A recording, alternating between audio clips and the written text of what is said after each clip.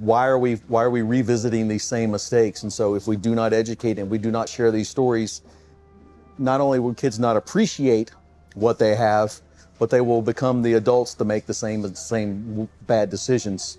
So everything that we do is to honor the men, tell the story. Don't let these things happen again, but never forget what we were given and what we enjoy today. And I'd like to say that the people of Bastogne, are a lot like the people of Normandy, show amazing uh, grasp of the history and an amazing appreciation of what happened.